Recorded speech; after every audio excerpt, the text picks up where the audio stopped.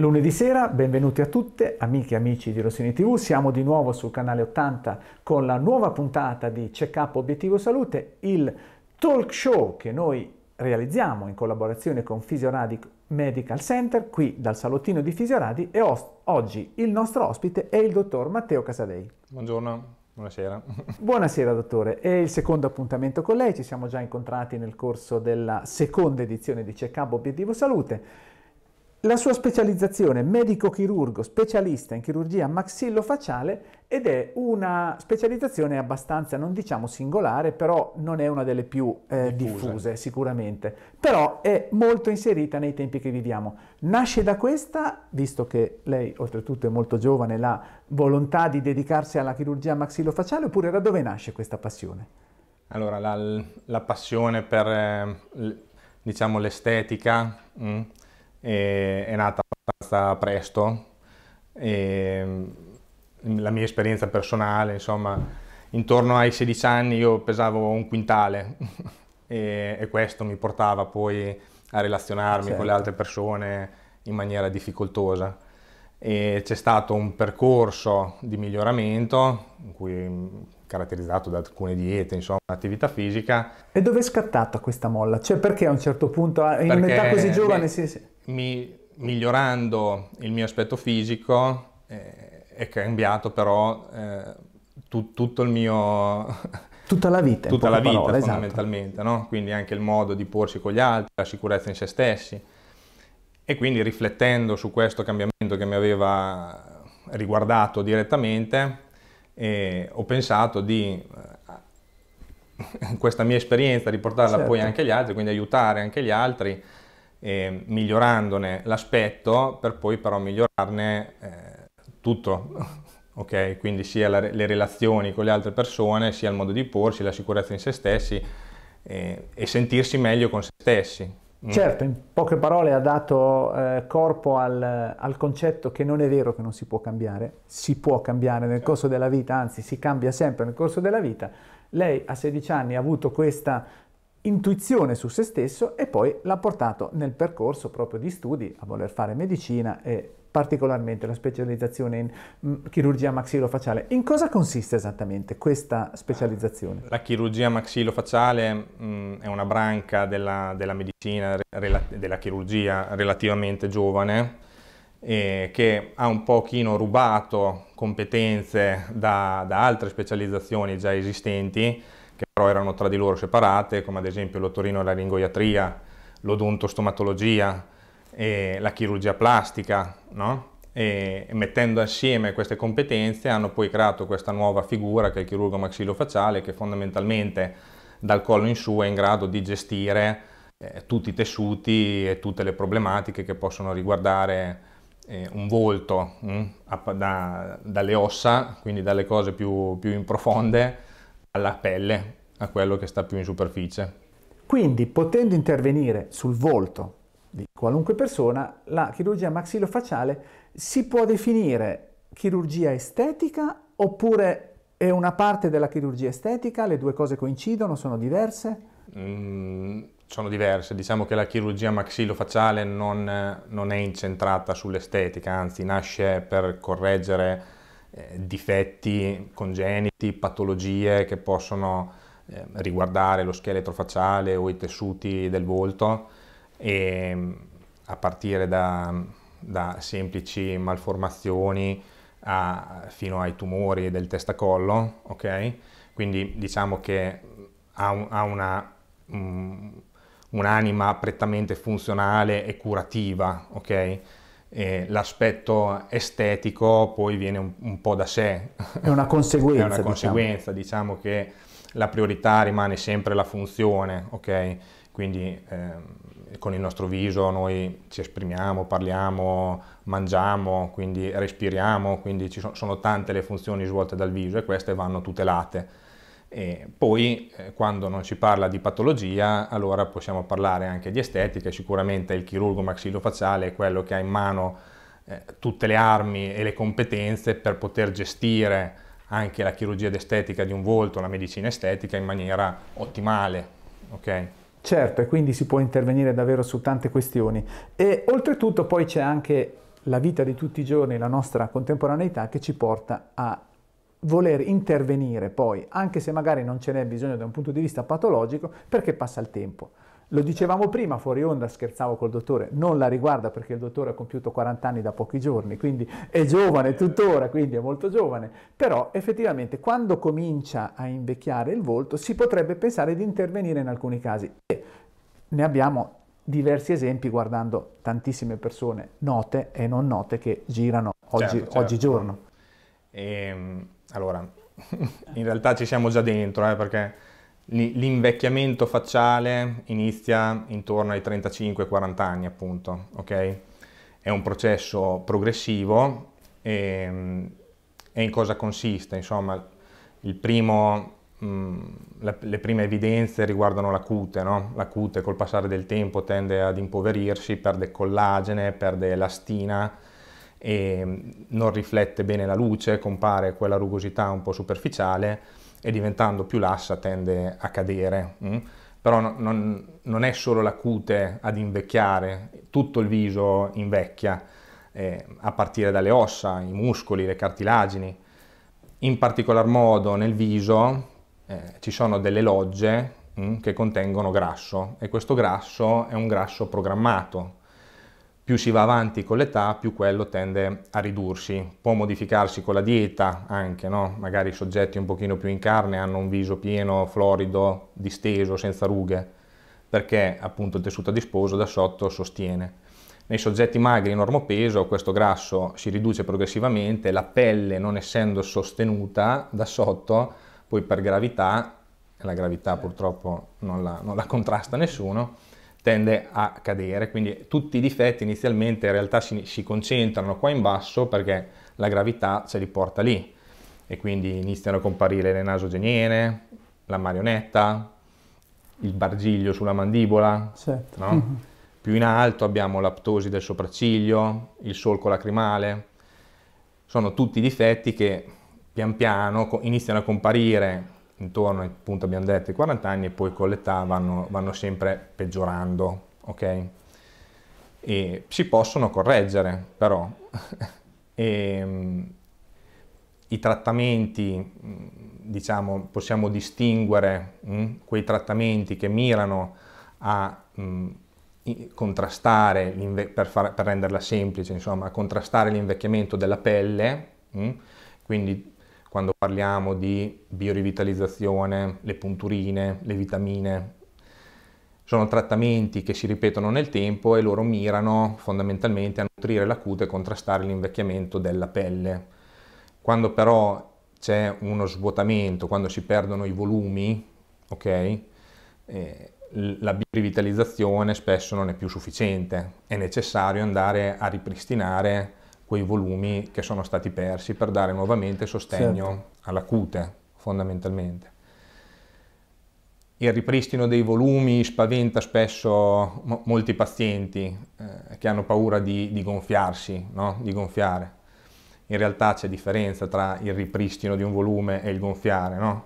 E quello che si vuole ottenere fondamentalmente eh, e andare a, a, armonizzare il viso, nascondere, correggere alcuni difetti, utilizzando in realtà piccole quantità di prodotto, perché stiamo parlando di piccole quantità di volume. parliamo però, di collagene, giusto? Eh, si non, parla non di, solo. parliamo non solo, non parliamo solo. di filler, filler in okay. generale, quindi filler sono quei prodotti innestabili eh, che vanno a riempire, no? to fill, e, e quindi vanno a fare volume, a dare sostegno.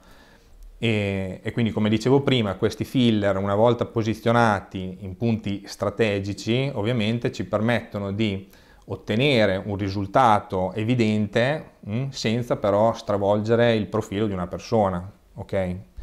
E, e quindi a volte quegli eccessi che eh, si vedono conseguenti alla medicina estetica ma forse soprattutto in età molto avanzate. In età molto avanzata mh, mm, sono dovuti a ehm, er-, er errate tecniche e ehm, a mio parere anche un pochino un'errata concezione della medicina estetica. E, ehm, a mio parere è inutile eh, soffermarsi o intestardirsi troppo sulla singola ruga, ok? Correggere il singolo difetto, perché a volte eh, ci sono difetti che non possono sparire, ok? Si possono migliorare. Hm? Quando ci si intestardisce li si vuole far sparire, poi si, si, si casca negli sì, eccessi, sì, no? In realtà eh, quello, l'obiettivo che si vuole ottenere con la medicina estetica eh, non è quello di, di, di, di, modificare il proprio profilo e di eh, ottenere un risultato che sia eccessivamente evidente, soprattutto da parte di, di chi ci conosce, chi ci guarda, non, non, ci devono dire sei stato dal medico, no? Certo. Ci dovrebbero dire come stai bene oggi? Ti trovo bene. Ti trovo esatto, bene, ti trovo come, bene. come sei fresco, esatto, no? sì, sì. Eh. Quindi lo, l'obiettivo è quello, è una linea sottile, ma eh, ci si può lavorare, insomma. Ma dottore, è vero che il, la tendenza a voler intervenire anche sull'estetica, quindi sulla chirurgia estetica, è anche delle persone giovani? Certo, certo, adesso alla medicina estetica ci si approccia sempre in più giovane età e, e, questo non è sbagliato a mio parere, anche perché grazie alla ingegnerizzazione dei, dei prodotti innestabili, mh, e questi prodotti non, eh, diciamo, quando vengono innestati e pian piano vengono riassorbiti dal nostro organismo, stimolano la nostra pelle, stimolano i nostri tessuti a produrre collagene, elastina, insomma, vi è un arricchimento mh? e quindi eh, anche quando il filler poi si sarà riassorbito completamente, la nostra pelle non sarà più come prima e non sarà peggio di prima, anzi sarà un pochino meglio, ok? E, da, e quindi grazie a questo la, la, medicina estetica sta assumendo sempre di più una valenza anche di tipo preventivo, hm? eh, vogliamo dire curativo, se, se l'invecchiamento lo vogliamo considerare come una malattia, ok? la, la cura è appunto la, la medicina estetica. Oggi ci permette questo. Che poi stiamo parlando dell'oggi, dell'attualità, quindi delle tecnologie, di tutto quello che si può fare, ma in realtà la medicina estetica è forse una delle branche più antiche della medicina. Se pensiamo che ai tempi già degli egiziani, tanto per fare un ah, esempio, sì, sì, si interveniva sono, tantissimo. Ci sono degli esempi esatto. riportati nella storia. Diciamo la medicina estetica moderna eh, nasce un pochino no, con l'avvento della tossina botulinica, del Botox, eh, che rispetto ai filler in realtà lavora in maniera diversa. Il Botox eh, agisce su quelle rughe eh, dovute alla, al movimento dei muscoli, no? alle espressioni, al movimento dei muscoli facciali. Ci sono alcune espressioni non proprio eh, belle, ok? o magari ripetute tantissimo che portano sì, poi... Dai, il fatto magari di esatto. accigliare troppo sì, spesso... Sì, sì rendono un viso più, più, più cattivo, più, più... Certo, non a caso, dottore, mi dica se sbaglio, corrugare molto la fronte porta, eh, cioè le persone che si preoccupano andare. continuamente a corrugare, meglio sorridere. Meglio, sicuramente meglio sorridere, meglio si eviterebbe sorridere. probabilmente esatto. qualche, qualche, trattamento di medicina estetica, estetica. quello eh. è sicuro. E, però anche da questo punto di vista, no, il, man mano che corrughiamo la fronte, la ruga che inizialmente non c'è andrà sempre di più strutturandosi, eh, certo. no? E quindi intervenire con, ad esempio, la tossina botulinica anche in età abbastanza precoce eh, evita che quella certo. ruga si strutturi. Certo, che okay? si approfondisca, che si approfondisca dice, sempre certo. di più. E, e quindi il, il, Botox, appunto, come dicevamo prima, è stato uno dei primi trattamenti di medicina estetica eh, oggi si fa quasi uguale a come veniva fatto a quel tempo, quindi è uno dei trattamenti più efficaci che funziona e funziona anche molto bene. E il suo obiettivo è quello di andare ad eliminare le espressioni brutte fondamentalmente, quindi quelle che generano le rughe. E, in questo modo il viso si rinfresca fondamentalmente. Ma adesso prima di proseguire, poi ci avviamo a concludere, le dico una curiosità, eh, lei legge fumetti? Eh, eh, in, passato. in, passato. adesso mi manca il tempo. Ma... Esatto, quello. però chi insomma ha avuto esperienza, c'è un personaggio dei fumetti che si chiama Dick Tracy, che è un famoso sì, poliziotto sì, esatto. americano degli anni 30-40. Uno dei suoi più terribili nemici si chiama La Ruga è un personaggio con questo viso completamente rugoso, rugoso e, e, e, quindi molto minaccioso e quindi fa tanto paura. The Brov mi, per, mi, pare, okay, che dica, okay, okay. mi pare, che si dica, in inglese. E, glielo consiglio di andare Adesso a vedere. Me lo vado a vedere. Esatto, e poi magari lo fa vedere. No, no, no, dopo non lo faccia vedere, si diventa così. No. Questo è un incentivo. È un'esagerazione, è un incentivo. Eh, quindi se dovessimo definire un trattamento full face, come lo definiremmo? Esatto, allora il, il trattamento full face mm, diciamo che è un, un protocollo solitamente, quindi una, una, combinazione di più tecniche di medicina estetica e di più prodotti mh, mm, e, che ha l'obiettivo di andare ad armonizzare il viso mh, mm, nel suo complesso, quindi nascondendo oppure correggendo alcuni difetti, però sempre tenendo in considerazione eh, il viso nel suo complesso e non il singolo difetto, ok? E quindi quando si fa un trattamento full face, mm, ad esempio nel mio caso, insomma, il, mio obiettivo solitamente è appunto quello di andare a, a contrastare le cause dell'invecchiamento facciale, no? Quindi da una parte dobbiamo ri, ri, ristrutturare, biorivitalizzare la pelle e, e, dall'altra parte però dovremo anche ripristinare i volumi, ok? E quando parlavamo prima di innesti strategici, no? eh, un concetto che, eh, che, sfrutta spesso la medicina estetica, è, è quello del, del V-shape. No? Eh, il, viso, il viso giovane soprattutto ha un aspetto a V, hm? quindi stretto in basso mm. che si allarga verso, verso l'alto. l'alto. Per il discorso che facevamo prima, eh, il viso col passare dell'età tende a svuotarsi e per gravità la pelle tende a cadere, quindi questa V a lungo andare diventa una U, perché ci svuotiamo in alto e la pelle sì, sì. scende giù. Il nostro cervello, quando noi vediamo una persona, non è che stiamo lì a guardare le singole rughe, il nostro cervello schematizza, no? Vero, Quindi sì. quando si avvicina verso di noi eh, una, una V, già nostro, nel nostro, nella nostra mente viene richiamata un'idea di freschezza, giovinezza. Mm. Quando si avvicina una U, già l'idea che viene richiamata è un'altra. No? Quindi la medicina estetica sfrutta un po' anche questi meccanismi. Mm?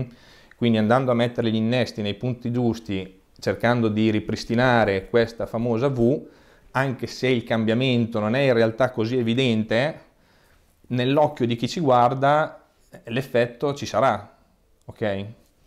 E, e questo appunto permette di, eh, evitare, di ottenere il risultato evitando l'eccesso. Certo, proprio il concetto del full face, quindi rientra anche questo proprio nella concezione moderna della medicina. Non si guarda solo un aspetto, ma si guarda l'insieme attraverso tutto. Il suo volto, il... e quello esatto. che si ricerca è l'armonia. È l'armonia, esatto. Detto questo, dottore, quindi abbiamo compreso che cos'è il trattamento full face, ma ci possono essere dei rischi legati a questa pratica? Allora, come tutte le pratiche mediche invasive, anche se mini invasive, eh, ci sono dei, dei, dei rischi, ok? I fastidi a cui si, possono, si, può andare incontro quando si fa la medicina estetica, eh, più, più, comuni sono il semplice ematoma, mh? Mm, eh, ovviamente sappiamo dove sono i grossi vasi, li evitiamo, però i capillari sono ovunque e quindi quando si entra con un, con un ago il rischio di avere un piccolo capillare, un piccolo ematoma, insomma c'è sempre. E a parte quello ci può essere un po' di edema, un, po di, un pochino di gonfiore legato proprio al trauma della procedura. Hm? Sono tutti fastidi che si risolvono in pochi giorni. Delle complicazioni, anche se rare, hm? Mh, legate ai filler, quelle più, insomma, tra, nelle rare, quelle più comuni, sono rappresentate dalle infezioni mh, ed eventualmente dalle dislocazioni dei filler. Eh, sono, anche queste comunque sono problematiche risolvibili, eh, basta solitamente attendere eh, che il filler con il tempo si riassorba completamente. Mh. Diciamo che poi ci sono alcune procedure eh, che hanno dei rischi specifici. Ad esempio si potrebbe parlare del, del rinofiller, no? Il rinofiller, quindi la correzione del naso con gli innesti di filler, eh, presenta eh, dei rischi importanti, nel senso che su milioni di trattamenti, perché attualmente è uno dei trattamenti di medicina estetica più richiesti, su milioni di trattamenti che vengono fatti in tutto il mondo sono stati descritti due casi di cecità mh, mm, conseguenti all'innesto del filler sul naso. Quindi il paziente lo deve sapere, deve esserne consapevole, anche se si tratta di un, di un rischio bassissimo che alcuni direbbero anche non significante. Okay? poi quando si va a contestualizzare l'avvenuto si scopre insomma, che questi casi sono due casi successi in Cina in condizioni non del tutto chiare, no? Quindi il, il consiglio che, che, mi sento di dare io quando si parla di rischi insomma, della chirurgia, della medicina estetica è quello di affidarsi a dei professionisti competenti in strutture adeguate. In strutture adeguate, in strutture adeguate che ti garantiscano un livello di eh, igiene, di pulizia anche eh, adeguato, no? come ad esempio qui al Fisioradi abbiamo un ambulatorio chirurgico eh, che garantisce appunto questo livello di pulizia maggiore e che ti permette di eseguire ad esempio anche piccoli interventi chirurgici come blefaroplastiche, otoplastiche, piccole liposculture, insomma. E, e, e l'ultima cosa fondamentale, poi quando si parla di innesti di prodotti è necessario utilizzare dei prodotti eh, certificati, dei prodotti validi. Dottore, ci avviamo alla conclusione. Io così, andando a curiosare nella sua vita, nel suo curriculum, ho visto che lei praticamente subito dopo che si è laureata ha fatto una bellissima esperienza di lavoro che magari in tanti vorremmo fare. È stato il medico dell'Acquafan. Sì, un'estate, giusto? Un'estate, un'estate. un'estate esatto. In, in, realtà l'esperienza nasce prima perché ho fatto anche il bagnino. Ah, ecco, quindi, quindi... c'è mai andato anche a buttarsi dagli scivoli o no? Certo, sì, beh, certo, quindi scivoli, nasce, tutto, esatto. nasce tutto da lì. E una volta laureato però sono mm. tornato come, come, medico una stagione all'Acquafan ed è stata un'esperienza divertente, divertente dai. E fortunatamente non succedono mai cose gravi. Cose gravi eh? E, ehm, Insomma, non ha mai avuto bisogno di intervenire come chirurgo maxillofacciale no, lì per lì. Fortunatamente, esatto, fortunatamente no, forse ho dato una volta un paio di punti eh, per, su, su, un cuoio capelluto per una, per una botta, insomma, ma a parte quello, dai, no, non, non, cose gravi, fortunatamente. Quindi un vero parco di divertimenti che lo è davvero per i giovani, per i ragazzi che si divertono tantissimo. Poi magari prendono dei raffreddori tremendi perché vanno sì, che, sì. che, ancora è freddo oppure... Esatto, esatto, poi tutti bagnati, si, si corre in giro per il parco. Esatto. Dottore, è stato davvero un piacere, un'intervista piacevolissima, la ringraziamo. Grazie a voi. Grazie a voi per averci seguito. L'appuntamento a lunedì prossimo con Check Up Obiettivo Salute qui da Fisioradi Medical Center. Buona serata a tutti.